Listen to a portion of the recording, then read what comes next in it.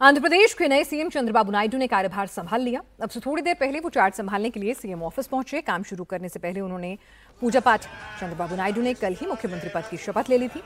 इस बार उनकी पार्टी को चुनाव में रिकॉर्ड तोड़ बहुमत मिला है।